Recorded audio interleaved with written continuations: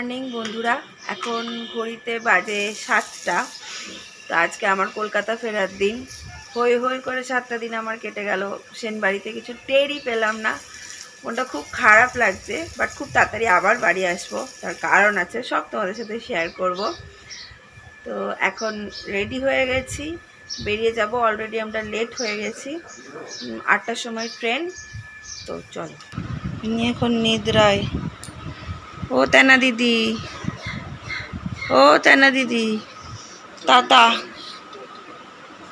চলো এলুম ও চললি টাটা টাটা কটার ট্রেন আটটায়। গিয়ে ফোন করবি। সাবধানে থাকবে। টাটা। হ্যাঁ টাটা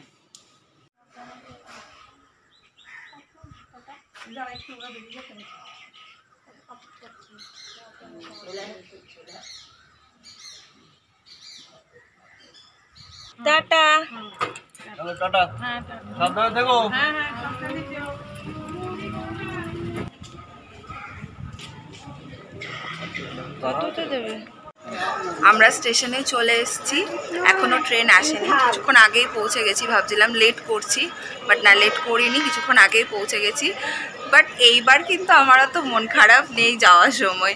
কারণ আমি আবার এক সপ্তাহের মধ্যেই বাড়ি ব্যাক করছি। পুরো গ্র্যান্ড ধামাকা নিয়ে। কেন, কি, সব তোমরা জানতে পারবে।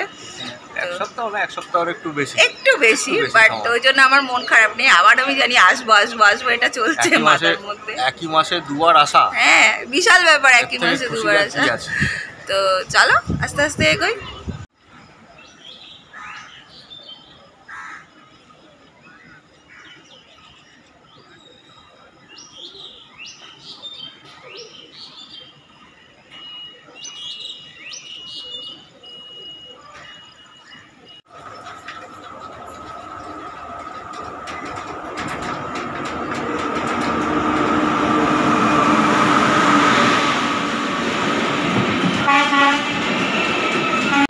তো এই যে ট্রেনে উঠে গেছি, খুব সুন্দর একটা জায়গায় সিট পড়েছে।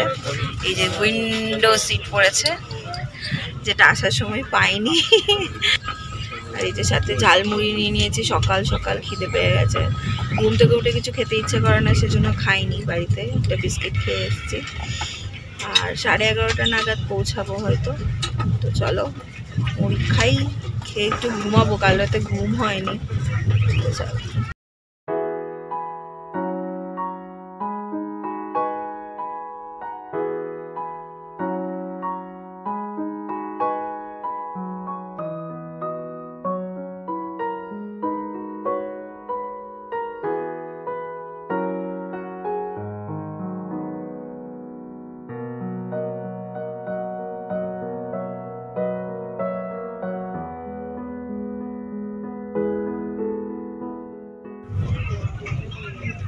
তো স্যার এখন কিছু একটা আবিষ্কার করেছেন মন দিয়ে মুড়ি খাচ্ছেন আর বলছেন কি? ভালো মেঘাটা ভালো মেখেছে না?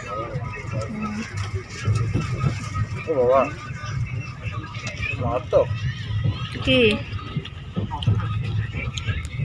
বন্দে মাতারম লঙ্কা। বন্দে মাতরম কেন?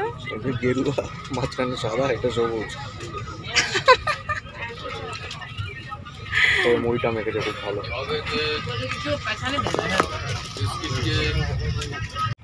এই যে স্যার প্রথমে বললাম মুড়ি নিতে নেয়নি।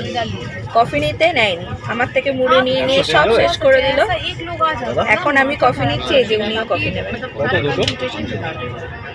প্রথমে নেয় না পরে নেয়।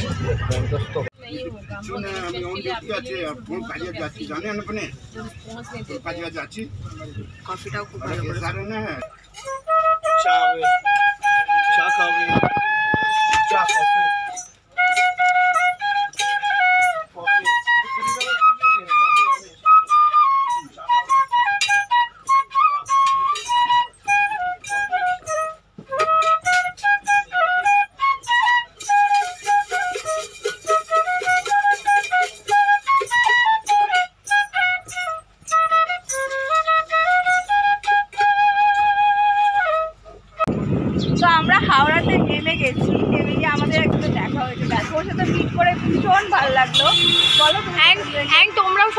সাবস্ক্রাইব করো দিদি ভীষণ এন্টারটেনিং ভীষণ এন্টারপ্রাইজিং থ্যাংক ইউ অ্যান্ড আমি তো রোজ দেখি। তো বোলপুর থেকে আসতে একই ট্রেনে এসেছি।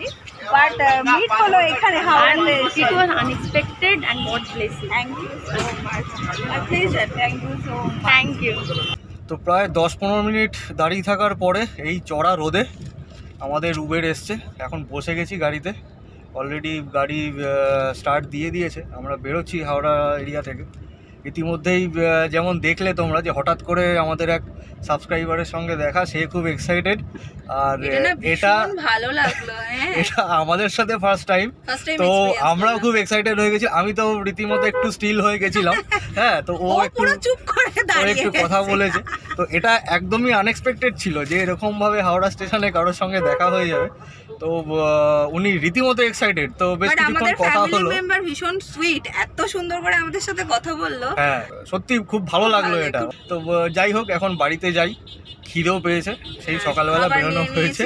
প্যাটিস। প্যাটিস প্যাটিস নেওয়া হয়েছে। তো টুকটাক কিছু খাওয়া হবে। সকালে সেরকম ভাবে কিছু টিফিন করা হয়নি। বাড়িতে বাবা মা নেই। বাবা মা গেছে ওর মাসির বাড়ি। তো জামাই ষষ্ঠী উপলক্ষে। হ্যাঁ হ্যাঁ। তো এখন বাড়ি যাই দেখি বাড়ির কি অবস্থা। বাড়ি পুরো তিন চার দিন ধরে পুরো ফাঁকা। এখন বাড়ির কি অবস্থা দেখি। তো চলো। বাড়ি যাওয়ার পরে তারপরে ফিরে আসছি।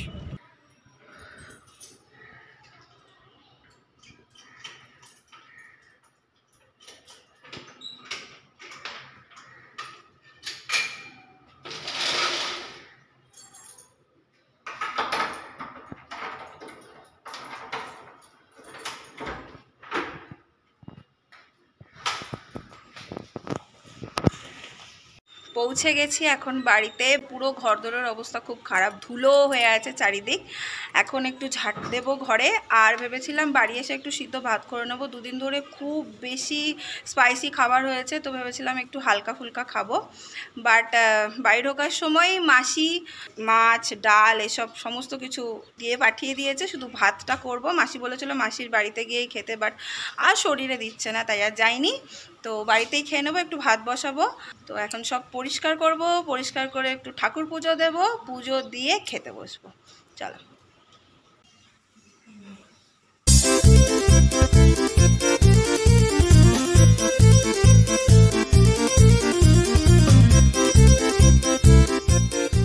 ভাত বসানো হয়ে গেছে। এখানে ভাত এখন হচ্ছে। আর এই যে আমার স্নান টান সব কিছু হয়ে গেছে, এবার পুজো দেব। স্যার এখন টুকিটাকি ঘর ফর সব গুছাচ্ছে। পুজো দিয়ে এসে তারপরে লাঞ্চে বসবো।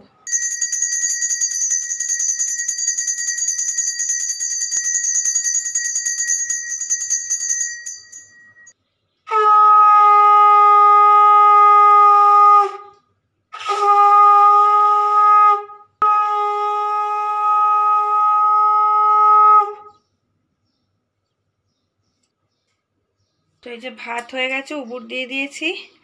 আর স্যারের এখন ইচ্ছা হয়েছে ডিমের অমলেট খাবেন। ডিমের অমলেট হচ্ছে, তারপর লাঞ্চে বসবো। এখানে ভাত আর দুটো ডিমের অমলেটকে একসাথে করে নিয়েছি, আর আলাদা আলাদা করিনি। এই হচ্ছে মাসি দিয়েছে চাটনি, মাছ, আর এই হচ্ছে কিছু একটা সবজি দিয়েছে মাসি। তো চলো বেশি দেরি না করে শুরু করে দিই।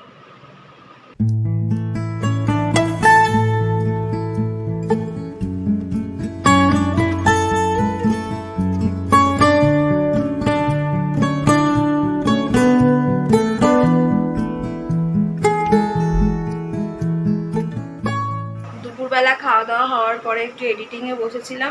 করার পর এখন সন্ধেবেলায় ভাবছি কি করব, মনটাও আজকে একটু খারাপ লাগছে। বিকজ এই বাড়িতে বাবা মাও নেই, শুধু আমি আর ও। তো বুঝতে পারছি না কি করব।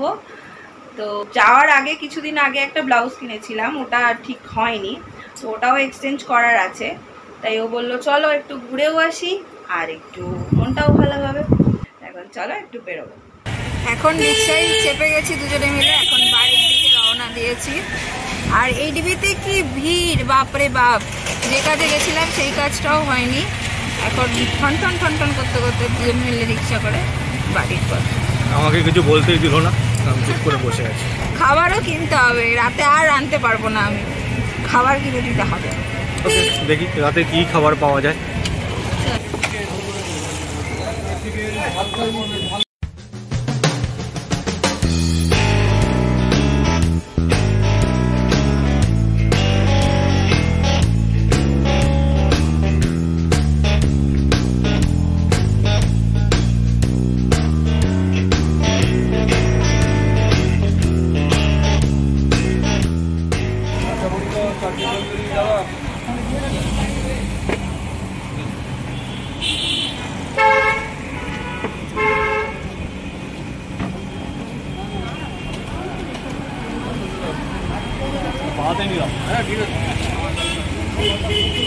রিক্সা থেকে নেমে গেছি আর খাবারও নিয়ে নিয়েছি কী নেব কী নেব করে করে কী নিলাম বলো?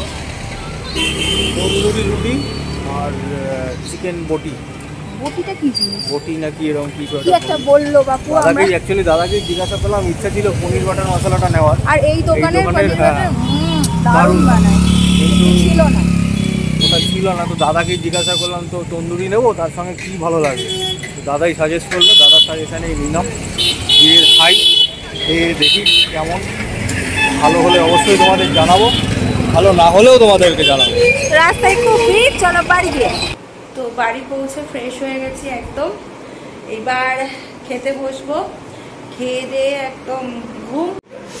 এই যে আজকের খাবার, এটা আজকে ট্রাই করব। এই দোকানের কিন্তু খাবারটা দারুণ। আজকে থেকে থেকে সারাদিন খুব বাড়ির জন্য মন খারাপ করছে বারবার বাড়ির কথা মনে হচ্ছে। তো যাই হোক কিছু কিছু করার নেই। তো আজকের ব্লগটা কেমন লাগল সবাই জানিও। সবাই কমেন্ট করো প্রচুর প্রচুর কমেন্ট করো। আর ব্লগটা ভালো লাগলে একটা সাবস্ক্রাইব করে দেবে। লাইক করে দেবে কিছুই বলতে পারে না। আচ্ছা। ও আর বেল বাটনটা মেরে দেবে যাতে নোটিফিকেশন চলে যায়। করে ঢুকে যাই এখন প্রচুর খিদে পেয়েছে প্রচণ্ড খিদে পেয়েছে। খাব।